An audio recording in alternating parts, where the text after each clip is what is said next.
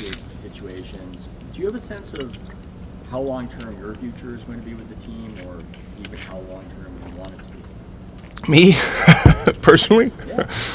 No, I'm happy here. I um, this is um, it's who you go to work with. You know, I don't know how everybody chooses the jobs they want, um, but you know, the, the older you get, the re- you realize, you know, even you know, who knows what's coming. So my goal is to enjoy who I work with every day, and uh, I love basketball.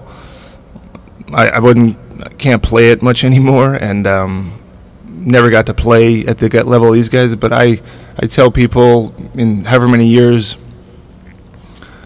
For me, it's a I, I get to to watch the game last night. I just like watching the games. I mean, I I love basketball. Not everybody has to feel that way, but I do.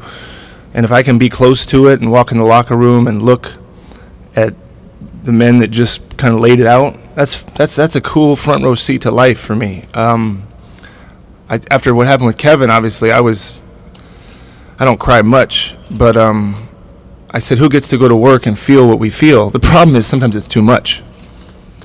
But that's better than going to work and your heart rate doesn't move. Bob, I know you can't speak for Kevin, but is it conceivable?